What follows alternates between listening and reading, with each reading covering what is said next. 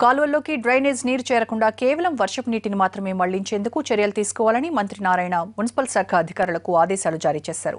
విజయవాడ నగరంలో నుండి పారుతున్న కాలువల్లోకి కార్పొరేషన్ మురికి నీరు విడుదల చేయడం వలన కాలుష్యం పెరిగిపోయి దిగువ ప్రాంతాల్లోని ప్రజలు ఇబ్బందులు పడుతుండటంతో కృష్ణానది కూడా కలుషితమవుతుందన్నారాయణ నగరంలోని కాలువలను పారిశుద్ధ్య పరిస్థితులను సిఆర్డీఏ కమిషనర్ మున్సిపల్ కమిషనర్ మేయర్తో కలిసి పరిశీలించారు.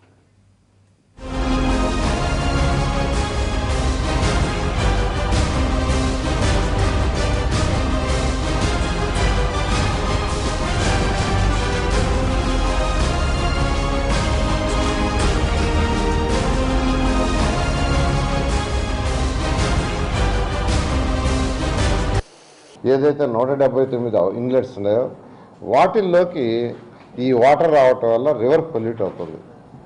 సీఎం గారు ఆదేశించారు ఇమీడియట్గా ఆ నూట డెబ్బై తొమ్మిది ఇన్లెట్స్లోకి స్టామ్ వాటర్ రావాలి. సివరేజ్ వాటర్ రాకుండా ఏం చేయాలో ప్లాన్ చేయమన్నారు. దాని మీద ఇప్పుడు యాక్చువల్గా కమిషనర్ గారు ప్లస్ సిఆర్డీ కమిషనర్ గారు మేము యాక్చువల్ కూర్చొని దాన్ని స్టడీ చేయడానికి దీనికి ఒక డిపిఆర్ చేయించి వీలైన తొందరలో ఈ యొక్క స్టామ్ వాటర్ లైన్లోకి సివరేజ్ వాటర్ రాకుండా ఫస్ట్ అరెస్ట్ చేస్తాం.